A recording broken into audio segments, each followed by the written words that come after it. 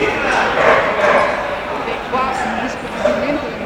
troppo Andrea, no troppo! Beh, va bene così, bene così, bene così. On w tamtym roku na europejskim, na światówce coś tam wygrał. Z tą suką. Młodzieżowe zwycięstwo świata chyba.